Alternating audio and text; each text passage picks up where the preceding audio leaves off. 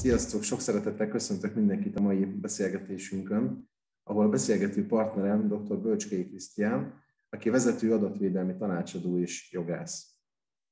Szerbusz Krisztián! Sziasztok! Mindenkinek szép napot kívánok! Krisztián, megtennéd, hogy eh, mielőtt elkezdünk beszélgetni itt a szakmai témákról, hogy pár szót mondasz magadról? Tényleg tényleg csak dióhéjban. Én a fórum médiánál, illetve a Vezinfónál szoktam volt adatvédelmi előadásokat tartani. Adatvédelmi tisztviselőket képzek most már gyakorlatilag 2017 óta kétnapos képzések segítségével, valamint hát már írtam egy, jól számú már öt könyvet adatvédelem témakörében tehát én úgy érzem, hogy annál a pár száz cégnél, ahol korábban dolgoztunk, a kollégáimmal együtt már eléggé nagy tapasztalatot sikerült magamévá tenni az elmúlt időszakban, különösen a GDPR időszaka óta, amiben most hát megpróbálok nektek segítséget nyújtani. Köszönöm szépen. Tehát, hogy te igazán gyakorlati oldalon benne vagy az adatvédelmi kérdéseknek a sűrűjében, nagyon sok céggel dolgozol, hogy mondtad együtt, és nagyon sok esettel találkozol, úgyhogy biztosan eh, hasznos lesz, hogyha esetleg meg tudsz osztani majd velünk néhány eh, konkrét esetet a, a kérdések kapcsán, amit tervezünk itt feldolgozni a mai beszélgetés során. Aminek egyébként szerintem vágjunk is bele a, a sűrűjébe.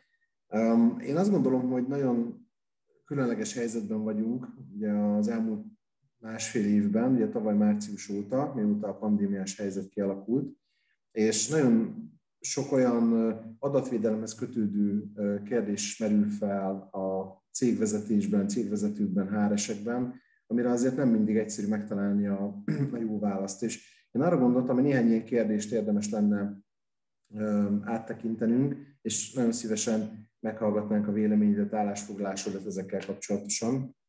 És azt gondolom, hogy a mai időszaknak az egyik legaktuálisabb kérdése, ugye a védettségigazolványoknak a kérdése.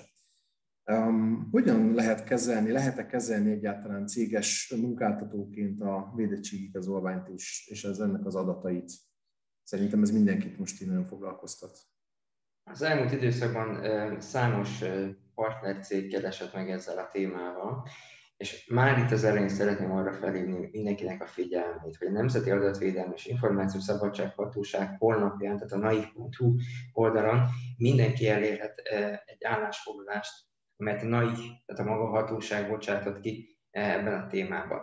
Én nem ezt az állásfoglalást szeretném most veletek megosztani, hiszen ezt mindenki el tudja olvasni, hanem inkább egy más megközelítésben, gyakorlatilasabb megközelítésből gondoltam, hogy ezt a témát körbejárjuk. Alapvetően abból kellene kiindulnunk, hogy a védettségi igazolvány egy egészségügyi adatot tartalmazó irat lényegében, hiszen a védettség az azt jelenti, hogy valakinek az egészségi állapota olyan, hogy ő védett, tehát ez teljesen egyértelmű, hogy egészségi adatot tartalmaz. Most ha abból indulunk ki, hogy az egészségi adat egy különleges személyes adat, amelynek a kezelése nem annyira e, triviális, hát akkor nagyon messze el fogunk jutni. Én azt mondom nektek, hogy induljunk ki abból, hogy a munkavédelemről szóló törvény azt mondja, hogy, az, hogy a munkáltatónak, tehát a ti felelősségetek az, hogy az egészséget nem veszélyeztető és biztonságos munkakörülményeket megvalósítsa maga a munkáltató. Na most ebből, ezekből, hogy ezeket elkezdjük összerakni, akkor a, a következőt lehetne gondolni még hozzáveszünk ezek, ez, ez a gondolatkörhöz azt, hogy a fertőző betegségek és járványok megelőzése érdekében szükséges járványi intézkedésekről szóló 18 98-as NM rendelet mit mond? Hát azt mondja, hogy a munkáltató köteles a munkavállalók egészségét és biztonságát veszélyeztető munkai biológiai expozíciókat külön jogszabályban megfelelően felmérni és csökkenteni csak a, annak érdekében ugye a csökkentés feltételeként biztosítani a munkakörben a foglalkoztatóknak a védőoltását is. Ez egy 98-as NM rendelet, tehát már 98-ban gondoltak itt arra az esetre, hogy bizonyos esetekben lehet az, amikor védőoltást kell kapni egy munkavállalónak. A veszélyeztetett munkaköröket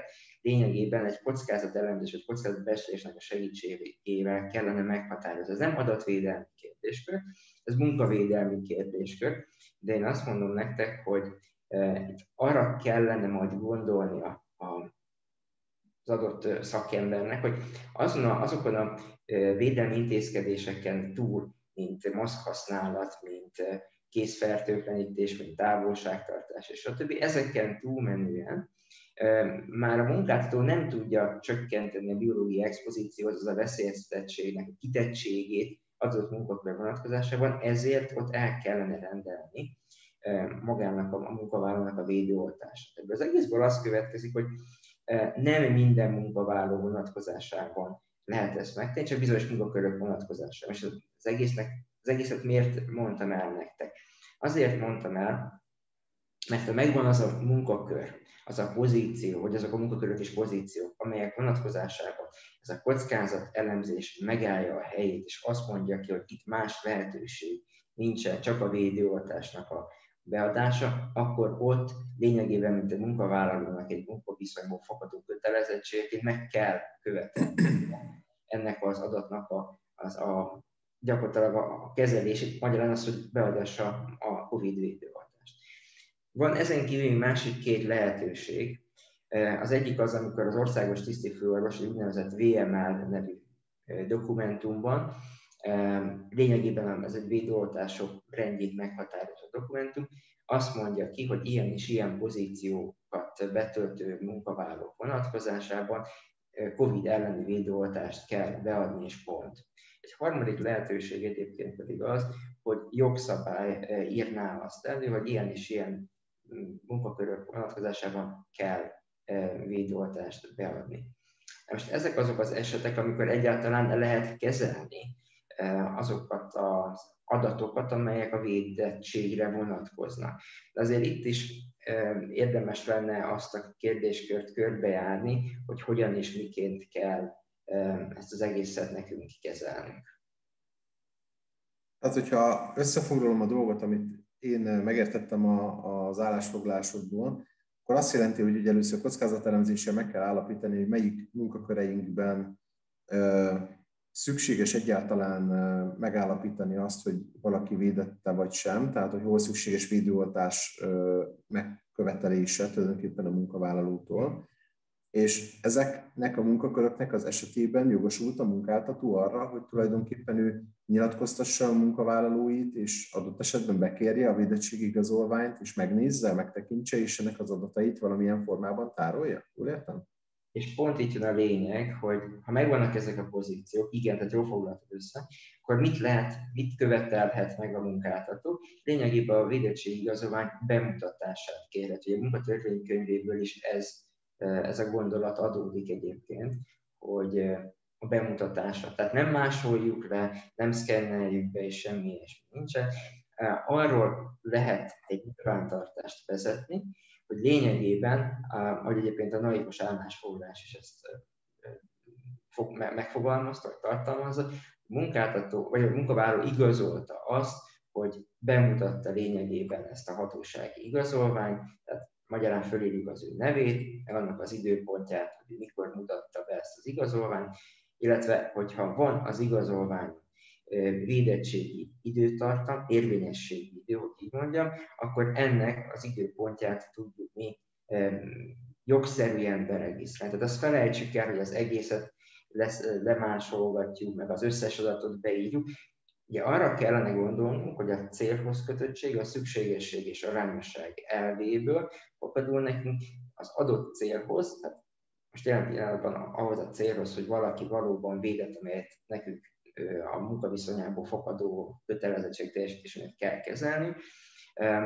Abból, abból fakadóan mi az a minimális, legkevesebb adat, amire valóban nekünk szükségünk van. És nagyjából ezek, amiket most az előbb elmondta. Név, bemutatta, mikor mutatta meg, hogyha van érvényesség ideje a kártyájának, akkor annak az időpontja. Ezen túlmenően, hogyha már adatokat rögzítenénk, akkor ott a szükségesség, arányosság alapelvei ezért elég könnyedén tudnánk sérteni. Tehát akár papíron, akár Excel táblában, akár informatikai rendszerben akar valaki ilyet tárolni, akkor ezeket az adatokat tárolhatja csak le. És azt is jól értem, hogy igazából akkor, ahogy mondtuk is előzőleg, akkor csak azoknál a munkaköröknél, azokban a munkakörökben dolgozó munkavállalókra vonatkozik egyáltalán az, hogy bekérhetem ezeket az adatokat is, akiknél egyébként felmerül az, hogy mondjuk védőoltás szükséges lehet. Így van. Tehát, Tehát nem lehet az egész cég összes munkavállalójára vonatkozóan bekérni a védettségi igazolványt. Nem.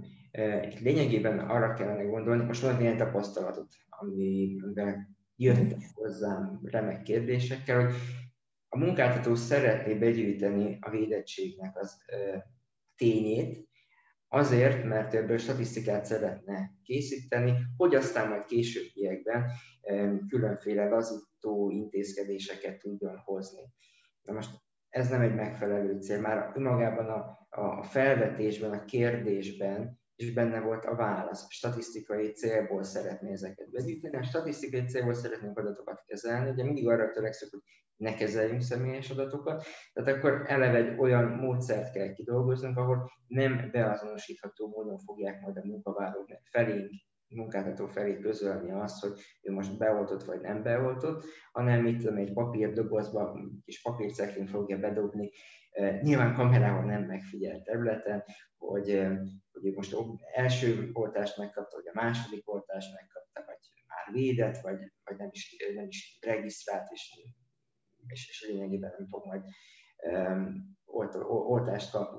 Tehát vannak, vannak ilyenek, sőt volt olyan ügyfelem is, akinél az merült föl, hogy egy helyiségbe ültetni azokat, akik védettek, egy másikba azokat, akik nem védettek, és akkor ezért ebből a célból szeretné begyűjteni az adatokat. Én azt mondom, hogy ezeket felejtsük el, tehát arra kell, hogy törekedjünk, amelyet a jogszabály is nekünk elő, kockázat elemzés alapján kell megmondanunk azokat a munkaköröket vagy pozíciókat, ahol a kitettség miatt kell a védőoltás.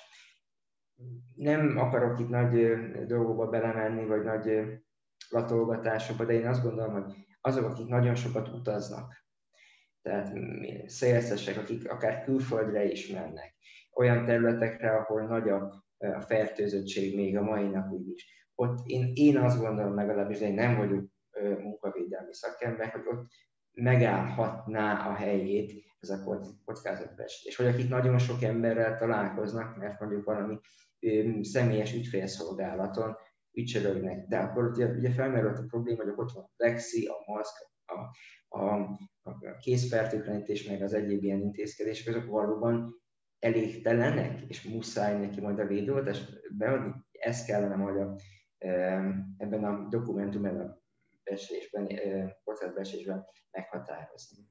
Ennek nagyon-nagyon komoly szerepe van a kockázat értékelésnek tulajdonképpen ilyen szempontból. Az azt jelenti, hogy a cégeknek lényegében a kockázatértékelésüket felül is kell vizsgálni, amit esetleg korábban készítettek, ebből a szempontból is, hogy ezt, ezt egészen biztosan tudják azonosítani, és nagyon alá kell támasztani, hogyha ők ezt kezelni szeretnék. Ezt Egyébként egy, egy, egy nagyon gyakran feljövő kérdés, szintén én azt gondolom, itt, ami, ami, amit lényegében azért meg is alapoztál már válaszként az eddigiekben, de azért mondjuk ki, hogy azért felszokott merülni ennek a kérdésköre is, hogy vajon a munkáltatói felmondásnak lehet-e alapja a védőoltás hiánya, vagy a védőoltás elutasítása a munkavállaló részéről. Ezt tudom, hogy nem teljesen adatvédelmi kérdés közvetlenül, de hogy esetleg érintenéd ezt a témát is? Hogy de én azt gondolom, hogy azon pozíció vonatkozásában, ahol egyébként a munkáltató a kockázatbecslése alapján kinyilvántotta, hogy kell a védőoltás, és ezt a munkavállaló megtagadja, ott lényegében a munkaviszonyából fakadó kötelezettségét tagadta meg. Tehát én azt gondolom, hogy ilyen, de csak is kizárólag ilyen esetekben felmerülhet a, a munkavállalótól való megválás. Az én gondolatom egyébként az, hogy ilyenkor se kellene feltétlenül a munkavállalót elküldeni, hanem inkább keresni egy másik pozíciót, amely pozíció nem a kitett munkakör, tehát ahol nem lenne szükséges az ő védettségének az igazolása. Egyébként van még egy, sőt két kérdéskör, ami még itt fontos lehet. a kockázatbeesés mellett ez az úgynevezett VML, amit tiszt, az országos tisztifőorvos ad ki, ha ebben benne van a munkaköre, akkor ott megint csak kell a védőoltás, és ott megint csak nem tudja megtagadni, hogyha jogszabály mondaná ezt. De mondok itt egy, egy, egy furcsa problémakör. Mi van akkor, hogyha a munkavállaló azért nem kaphatja meg a védőoltást, mert neki olyan egészségügyi problémája van, amely miatt ő a védőoltást nem kaphat meg. Ugye ez egy újabb problémát generálna, mert akkor lényegében azt az adatot is kellene kezelni, hogy ő neki valamilyen egészségügyi problémája van, ami miatt ő nem kaphatja meg a védőoltást. Tehát ez az egész védőoltás és, és, és, és, és, és, és barátai, ez hogy mondjam, messze, messze tud vezetni.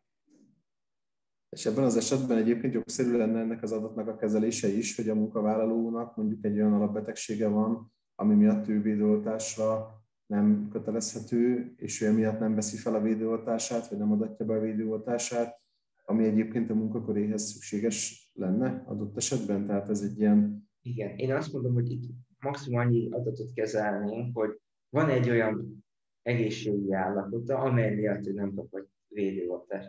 De az, hogy ez konkrétan az, hogy ő nem tudom én epilepsziás, vagy, vagy mondjuk terhes, hiszen a terhesek sem kaphatnak, legalábbis azt hiszem legjobb tudomásom szerint és jelen állapot szerint védőoltást.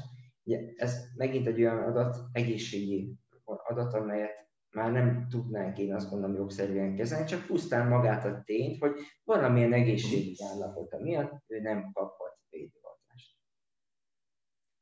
Hát ez egy tényleg nagyon, nagyon komplikált és messzire vezető téma, én azt gondolom. Tehát ez mindenki jól, jól meg kell fontolni a saját gyakorlatát.